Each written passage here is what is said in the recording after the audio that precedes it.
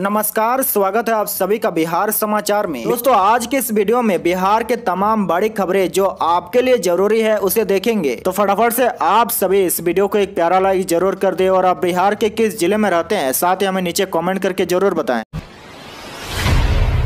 बड़ी खबर बिहार में सीबीआई की एंट्री बंद करने की तैयारी नीतीश तेजस्वी के फैसले पर लगेगी मुहर। जी हाँ, बिहार में चाचा भतीजे की नई जोड़ी लगातार धमाल मचा रही है। नीतीश और तेजस्वी जब से साथ आए हैं बीजेपी पर हमला बोल रहे हैं। तेजस्वी हमला बोलते रहते हैं कि बीजेपी अपने जमाइयों के ज़रिए आरजेडी नेताओं को डराना चाहती है। सीबीआई के एक्शन को देखते हुए एक तरफ़ जहाँ मौजूदा सरकार के भीतर कई तरह की आशंकाएँ तो वही केंद्र में बैठी बीजेपी हर हाल में नीतीश और तेजस्वी की जोड़ी को सबक सिखाना चाहती है। दोनों खेमों में अपने अपने तौर पर रणनीति तैयार हो रही है, लेकिन इसी बीच बड़ी खबर राज्य के प्रशासनिक गलियारे से आ रही है। बिहार में सीबीआई की एंट्री बंद करने की तैयारी शुरू कर दी गई है। मीडिया को विश्वास सूत्रों से जो जानकारी मिली है, उसके मुताबिक आने वाले कुछ दिनों में बिहार के अंदर सीबीआई की एंट्री पर रोक लगा दी जाएगी। इसके लिए मुख्यमंत्री नीतीश कुमार और डिप्टी सीएम तेजस्वी यादव के बीच सहमति बन चुकी है। दोनों नेताओं के बीच दो दिन पहले जब मुलाकात हुई थी तो इस बात को लेकर चर्चा हुई और फिर आला प्रशासनिक अधिकारियों को इसके लिए आवश्यक पहल करने का निर्देश दिया गया है। आपकी जानकारी के लिए बता दें कि सीबीआई की एंट्री पहले ही कई राज्यों में बंद हो चुकी है। पश्चिम बंगाल, महाराष्ट्र, छत्तीसगढ़, मेघालय, पंजाब, राजस्थान जैसे राज्य में पहले ही सीबीआई की एंट्री अपने यहाँ रोक चुके हैं। खबर बिहार में बाढ़ की स्थिति एक बार फिर से उत्पन्न हो गई है। गया के तटीय इलाकों के लिए बाढ़ का अलर्ट हुआ जारी। बक्सर से कहलगांव तक बिगड़ रही है स्थिति। जी हाँ, बिहार में गंगा के तटीय इलाके बाढ़ का सामना कर रहे हैं। बिहार में गंगा बक्सर से लेकर पटना तक खतरे के निशान को पार कर चुकी है। चिंता की बात यह की जलस्तर में वृद्धि का क्रम अब तक जारी है। हालाँकि इसकी रफ्तार ज़रूर कम हो गई है। बक्सर में रविवार तक गंगा प्रति घंटे एक सेंटीमीटर तक बढ़ रही थी। संभावना जताई जा रही की गंगा के जलस्तर में अगले तीन दिनों तक वृद्धि जारी रहेगी। जलस्तर में वृद्धि का क्रम बक्सर से तमना शुरू होगा और धीरे धीरे इसका असर भागलपुर तक दिखेगा। उत्तर प्रदेश के शहरों प्रयागराज, मिर्जापुर, वाराणसी और गाजीपुर में गंगा के जलस्तर में वृद्धि का क्रम अब थमने लगा है। बड़ी खबर, बिहार के विभिन्न जिलों में पिछले पाँच दिनों से लगातार जल स्तर बढ़ने के कारण बेगूसराय, मुंगेर, बक्सर में खतरे के निशान को गंगा ने पार कर दिया है। कटिहार में भी कोसी ने चिंता बढ़ा दी है। जी हाँ बिहार के विभिन्न जिलों में पिछले पाँच दिनों से लगातार जल स्तर बढ़ने के कारण गंगा नदी खतरे के निशान को पार कर गई है। बेगूसराय में गंगा नदी में बढ़ोतरी दर्ज की गई है, जिससे दियारा इलाकों के हज़ारों एकड़ में लगी फ़सल डूब गई है। वहीं सैकड़ों घर के साथ साथ सिमरिया, गंगा घाट पर 100 से अधिक दुकानों में भी पानी प्रवेश कर गया है। दूसरी ओर आरा में गंगा नदी का जलस्तर लगातार बढ़ने के कारण बढ़ारा और सापुर प्रखंड क्षेत्र में बाढ़ की स्थिति उत्पन्न हो गई है। गंगा नदी के आस बसे गाँव में रहने वाले लोगों की चिंता बढ़ गई है। वही मुंगेर में गंगा खतरे के निशान की ओर तेज़ी से बढ़ रही है। यह गंगा खतरे के निशान से मात्र अठहत्तर सेंटीमीटर नीचे बह रही है। इसके अलावा बक्सर में गंगा खतरे के निशान को पार कर गई है। गंगा समेत सहायक नदी करमनासा के जलस्तर में वृद्धि जारी है। बड़ी खबर, मोटर बोर्ड में सवार होकर पटना से राघोपुर पहुँचे सीएम नीतीश। बोले, बाढ़ और सूखा को लेकर सरकार अलर्ट। जी हाँ मुख्यमंत्री नीतीश कुमार ने कहा कि बाढ़ और सूखा की स्थिति को लेकर बिहार सरकार पूरी तरह से सतर्क है। सभी चीज़ों पर नज़र रखी जा रही है। इस बार भी गंगा नदी के बढ़ते जलस्तर की लगातार जानकारी ली जा रही है। पिछले साल जैसे बाढ़ की स्थिति इस बार अभी तक नहीं है। वहीं बिहार में कुछ इलाकों में सूखे की स्थिति है। उन इलाकों में भी जाकर जायजा लिया गया है। सीएम नीतीश कुमार सोमवार को डिप्टी सीएम तेजस्वी यादव के साथ पटना से राघोपुर पहुँचे। उन्होंने देवगंत पूर्व मंत्री भोला राय के परिजन से मुलाकात भी की। साथ ही मुख्यमंत्री नीतीश कुमार ने सोमवार को पटना के आसपास गंगा नदी के बढ़ते जलस्तर का भी जायजा लिया। रेलवे ग्रुप डी भर्ती परीक्षा पेपर लीक को लेकर एक अहम सूचना जारी की गई है।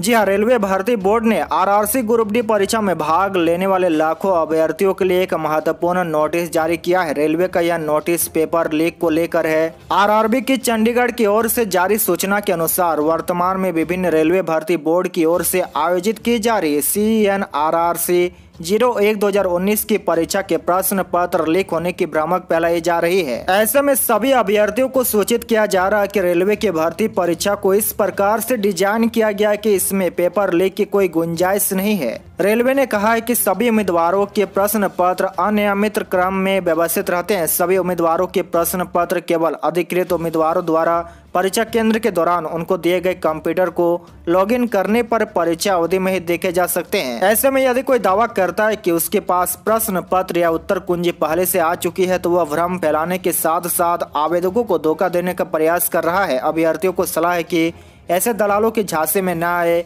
इस प्रकार की सूचना मिले तो इसकी रिपोर्ट भी करे। बड़ी खबर नीतीश को पीएम उम्मीदवार बनाने के लिए जेडीयू की बैठक में प्रस्ताव लाने की मांग। 2024 की तैयारी शुरू। जी हाँ बिहार में अब महागठबंधन की सरकार है, लेकिन अभी सबसे ज़्यादा चर्चा इस बात की है कि क्या नीतीश कुमार प्रधानमंत्री उम्मीदवार के चेहरा होंगे? इसको लेकर अब जेडीयू की ओर से जवाब आने लगा है। जेडीयू के प्रदेश उपाध्यक्ष संजय सिंह ने कहा है कि नीतीश कुमार एक अच्छे उम्मीदवार है, उनके ऊपर कोई दाग नहीं है। वो प्रधानमंत्री बनने के योग्य है। पार्टी के साथ साथ जनता भी ये चाहती है की 2024 में नीतीश कुमार प्रधानमंत्री बने। मीडिया से बात करते हुए संजय सिंह ने कहा कि पार्टी के अंदर ऐसी कोई तैयारी नहीं है, लेकिन मैं व्यक्तिगत रूप से चाहता हूँ कि नीतीश कुमार प्रधानमंत्री बने। उन्होंने दावा करते हुए कहा कि एक ऐसा समय आएगा जब जनता उन्हें प्रधानमंत्री बनाना चाहेगी। बड़ी खबर देखिए, राजद विधायक पर सीबीआई का शिकंजा एलटीसी घोटाले में दोषी ठहराए गए अनिल सहनी। जी हाँ, जदोई के पूर्व राज्यसभा सांसद और कुरहानी से राजद के वर्धन विधायक अनिल कुमार सहनी को केंद्रीय जाँच एजेंसी सीबीआई की विशेष अदालत ने सोमवार को अवकाश और यात्रा भत्ता मामले में दोषी ठहराया गया है। यह मामला यात्रा और महँगाई भत्ते की धोखाधड़ी से प्रतिपूर्ति का दावा करने से संबंधित है। जब सहनी राज्यसभा के सदस्य थे, अधिकारियों ने यह जानकारी दी है। अनिल कुमार सिंह पर आरोप है कि राज्यसभा सांसद रहते उन्होंने बिना कोई यात्रा किए यात्रा और महँगाई भत्ते की प्रतिपूर्ति के रूप में जाले ई टिकट और फर्जी बोर्डिंग पास उपलब्ध कराए थे। इसके चलते सहनी ने राज्यसभा के साथ तेईस दशमलव इकहत्तर लाख रुपए की धोखाधड़ी की थी।